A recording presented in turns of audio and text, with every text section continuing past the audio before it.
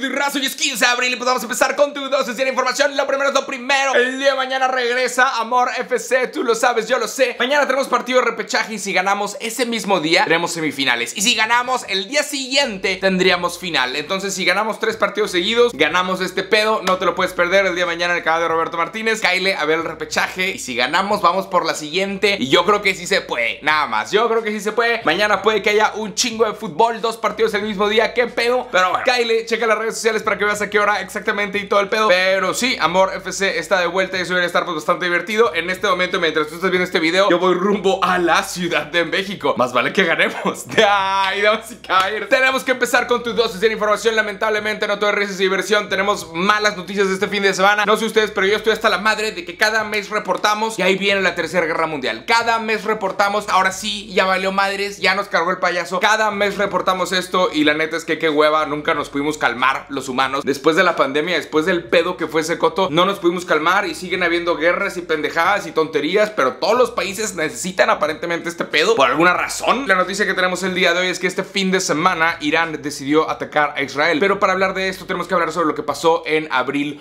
1. ¿Qué fue lo que pasó en abril 1? Bueno, Israel se dio cuenta que en Damasco, capital de Siria, otro país, Israel se dio cuenta que ahí había un cabrón del Hamas, uno de los líderes de este grupo terrorista que los atacó en octubre 7. Eh, Israel se dio cuenta que en un lugar en Damasco estaba un miembro de Hamas y decidió bombardear. Resulta que el lugar que bombardeó es el consulado de Irán en Siria y no nada más eso, sino que mataron un montón de personas, incluyendo militares iraníes. Obviamente Irán no se iba a quedar de brazos cruzados y este fin de semana decidió mandar un montón de misiles y, expertos están diciendo que lo que está haciendo Irán es nada más flexear, nada más mostrar el músculo, mostrar lo que pueden hacer y que no le tienen miedo a Israel y mandaron un montón de misiles y obviamente Israel, o sea, con tiempo, eh, Israel tenía tiempo para, para contraatacar. Israel mueve a sus fuerzas aéreas, tumban a la mayor cantidad de misiles que pueden, viene Estados Unidos, viene Inglaterra, tumban a la mayor cantidad de misiles que pueden y pues parece que no hubo daños y no hubo muertos y después de este postreo que tuvo Irán de mira todos los misiles que te puedo mandar en nada de tiempo si quiero, güey. Mira lo que me acabas de hacer, mira lo que puedo hacer yo. después de esto, Irán está informando que ellos no van a continuar atacando. Ellos no van a seguir. Ahí está, ahí muere, ahí la dejamos. Pero Irán está diciendo, mira lo que puedo hacer, ni se te ocurra volver a hacer esta mamada de atacar un consulado mío, aun y cuando yo esté guardando a miembros de Hamas. Israel aparentemente necesitó ayuda de Estados Unidos e Inglaterra. Inglaterra ya está diciendo que cuentan con la ayuda de Israel para cualquier cosa. Estados Unidos está diciendo que va a ayudar a Israel, pero para su defensa, no para contraatacar. Estados Unidos le está sugiriendo a Israel que no contraataque, que no haya otro ataque más, porque ha estado escalando la situación. Honestamente, desde el sur de Israel, donde está la franja de Gaza, hasta el norte también, hasta en Yemen con los Houthis, que ahora están deteniendo varios barcos en esa zona. Eh, este, está empezando a escalar la tensión en toda la zona y pues Estados Unidos no quiere meterse más. O sea, ya se metieron suficiente. No es que no tengan el poder, no es que no puedan hacerlo. Es que si de repente te metes en pedos con Irán, olvídate de los demás. Si te metes en pedos con Irán o con Arabia Saudita o Irán contra Arabia Saudita decían eh, escalar otra vez la tensión que Irán y Arabia Saudita, como dato curioso, son los dos pilares del mundo árabe. Ellos siempre se pelean en diferentes países alrededor del mundo árabe. Eh, sí, si algo sucede con Irán, eh, puede que el precio de, la gasolina en todo el mundo llegue a aumentar. Puede que los precios del petróleo en todo el mundo lleguen a aumentar. La economía ya está demasiado frágil. El año pasado se salvó la economía, creo que por culpa de Taylor Swift, una mamada así. Pero la economía estaba bastante. Eso fue un chiste. Pero la economía ya está bastante frágil y no necesitamos este tipo de cosas. Nada más. Entonces, Estados Unidos le está avisando a Israel que ellos no van a ayudar hacer un contraataque y sugieren que no haya un contraataque. Entonces, posiblemente Israel se puede poner la medallita de hey, tumbamos casi todos los misiles, no nos pasó absolutamente nada, no hubo muertos. Eh, Israel se puede poner la medallita de los estamos protegiendo. Irán se puede poner la medallita de nos defendimos, güey. Eh, esto no se quedó así nomás. Pero vamos a ver qué es lo que procede y cómo, cómo continúa toda esta semana este pedo. Pero esto fue una respuesta a lo que hizo Israel el 1 de abril de este mismo año en Damasco,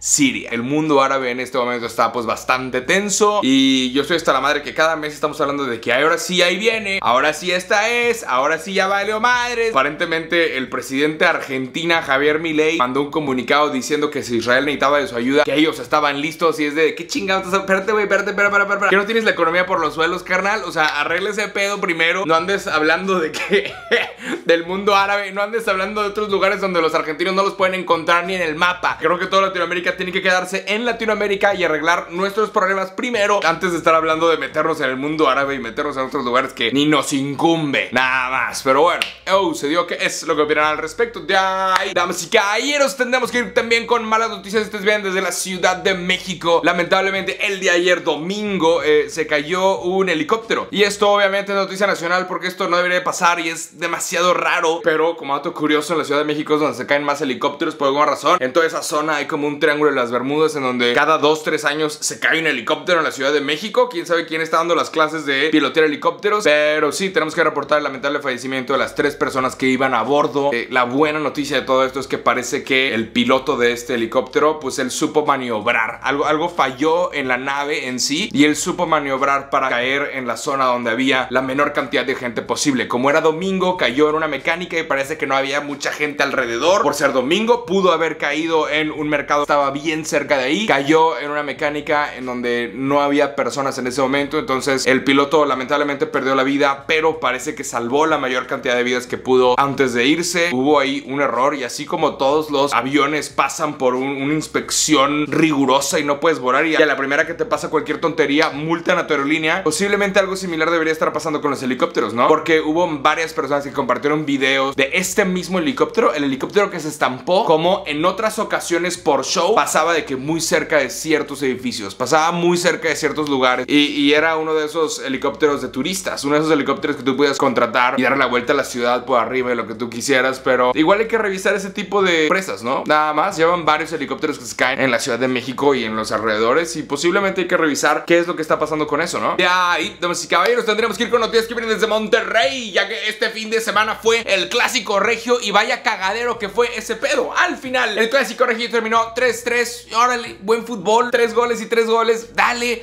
Pero tenemos que hablar de todo el cagadero que sucedió extra cancha. Eh, el portero de Tigres, por alguna razón, que hey, yo le voy a Tigres y quiero mucho a este cabrón. El portero de Tigres, Nahuel Guzmán, parece que está lesionado, se está recuperando una lesión. Entonces él estaba en uno de los palcos, metió un láser y hay un video en donde por unos segundos el güey apuntó con un láser. Parece que al otro portero, al portero de Rayados. Y es de, ¿cómo pensaste que, que no te van a multar? O sea, ¿cómo pensaste que podías hacer tal cosa? Nada más, Nahuel Guzmán lo van a multar. Se escucha bien chistoso de lejos, pero al final es una actitud antideportiva. Terminó subiendo una story que ya la borró el portero de Rayados diciendo puto cagón. Esteban Andrada le dice puto cagón y la terminó borrando como que no quería escalar la situación, pero no nada más eso. Entró la barra de Tigres, los libres y locos y salió un video que esta madre es indefendible. Me valen madres de qué equipo seas, me valen madres si eres parte de una hinchada o de otra, es indefendible. Hubo un pinche cabrón que se orinó en un vasito y se lo aventó a otras personas. Qué perro asco, güey tienen que arrestar a esta persona. Tienen que arrestar a esta persona. Este pedo es asqueroso. Es hasta un crimen de, salubridad, ¿no? O sea, durante la pandemia, si alguien te tosía en la cara, arrestaban a esa persona. Entonces, estoy casi seguro que eso es como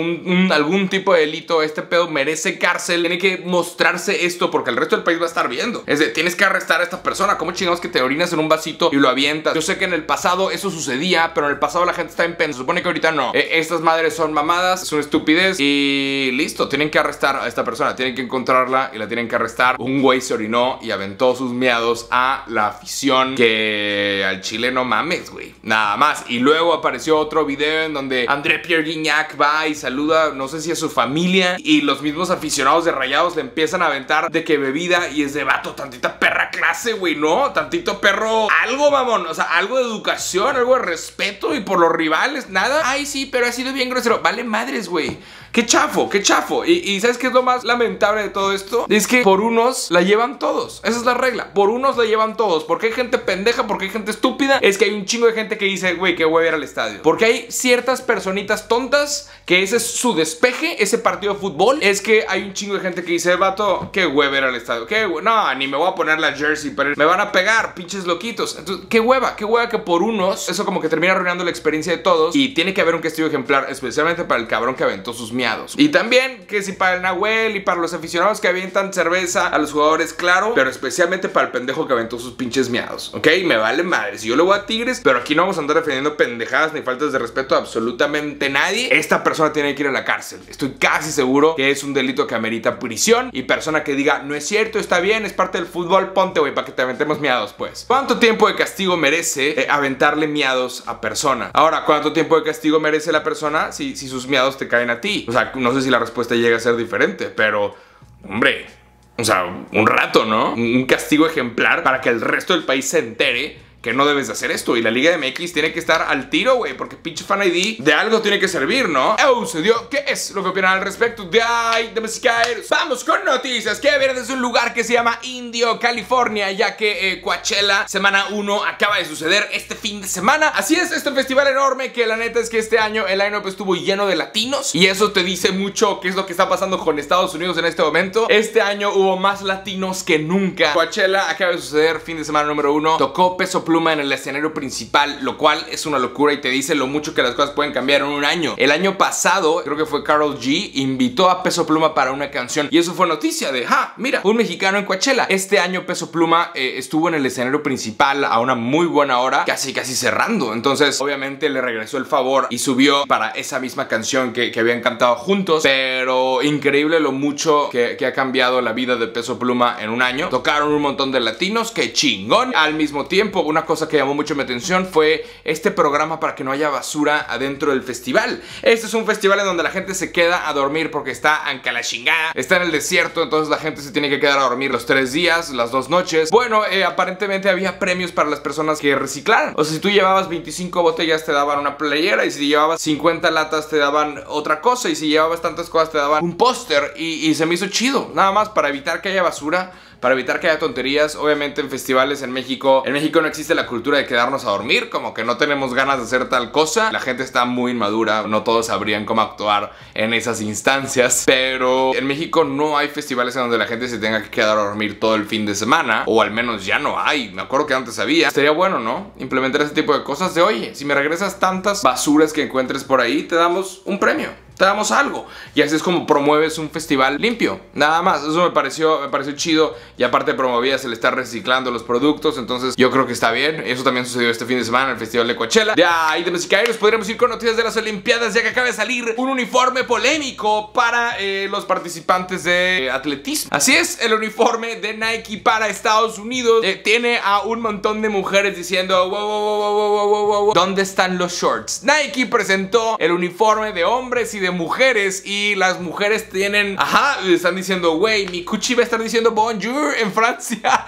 o sea, ¿qué pedo? Sí está como muy arriba, pero las, las mujeres nos podrán decir qué es lo que opinan de este tipo de cosas. Es para correr. Esto es para las mujeres más rápidas del mundo. Hay gente que ahora se está preguntando, oye, el equipo olímpico va a estar viajando con una persona que va a estar encargada de depilar todo ese pedo. Se siente exagerado, se siente raro. Eh, ¿Por qué los hombres tienen shorts y las mujeres tienen que andar en un bikini? Eh, está curioso y al mismo tiempo no sé si se espera que las mujeres corran con esto. No sé si es eh, el atuendo más apropiado para correr. Eh, las mujeres nos podrán comentar qué es lo que opinan de este atuendo en específico. Eh, sí está raro que los hombres sí tengan shorts y las mujeres no. Y posiblemente sea correcto que las mujeres también tengan la opción de tener shorts. Sí está raro y hay gente que dice, güey, se nos puede salir el pedo. ¿Quién va a correr así? ¿Quién va a hacer ejercicio así? ¿Qué pedo, Nike? Habrá que ver si es que ellos deciden arreglar esto. Pero esta fue la primera presentación del uniforme de atletismo para Estados Unidos. Y este año... Eh, se espera que por fin pueda participar Shakari Richardson, quien es de las mujeres más rápidas del mundo en este momento y es de Estados Unidos, entonces eso va a estar muy interesante de ver. Nada más de ahí, musiqueros. Vamos con noticias que vienen desde Costco y por primera vez en un año no estamos hablando de los pasteles, así es. Por primera vez tenemos una noticia de Costco que no tiene que ver con pasteles, sino que tiene que ver con oro. Costco en lugares como Estados Unidos y Canadá han estado vendiendo barritas de oro, así es, barras de oro certificadas, oro puro, oro que tú puedes comprar en la sección de joyería de Costco. Y Costco está reportando que ha vendido cerca de 100 millones de dólares en oro. Hay gente que compra oro porque pues el oro se sabe que no pierde su valor y que se va ajustando su precio dependiendo de la inflación y dependiendo de lo que sea que esté sucediendo. Y de hecho si sucede alguna guerra o algo por el estilo, el oro empieza a aumentar de valor. Y de hecho es una excelente forma para transportar grandes cantidades de valor o de dinero de un lado a otro. Nada más tienes que encontrar a alguien que te lo quiera comprar, ¿verdad? Pero sí, aparentemente es una excelente forma de ahorrar dinero o dejar tu dinero en algún producto que no vaya a perder su valor, el oro. Costco está vendiendo barritas de oro y parece que han vendido más de 100 millones de dólares en barritas de oro. Entonces, nada, qué curioso, qué curioso ir a Costco y, querer comprar nada más una tostadora y terminar saliendo con una barrita de oro. O sea, ¿no te ha pasado que de repente vas a Costco porque quieres una pizza o algo y terminas saliendo con una pendejada que no sabías que necesitabas? Bueno, hay gente que está yendo a Costco y se está llevando barras de oro literalmente. Y nada, qué curioso, está curiosa la noticia, está rara, parece que Costco no se va a detener. Habrá que ver si llegan a vender este tipo de productos en lugares como México también. ¿Cómo reaccionaría el mercado mexicano ante eh, la venta literal de barras de oro? Nada más, pero hey, oh, se dio, ¿qué es lo que opinas al respecto? Raza, yo soy Jacobo Wong, que tengas un excelente resto de semana, la cual ya está comenzando. Te dando un abrazo, te quiero un chingo, todos esperamos que lo mejor y nos vemos el día de mañana con toda la información y en la tardecilla con el repechaje de la People's League Amor FC, tú lo sabes, yo lo sé, nos vemos por allá,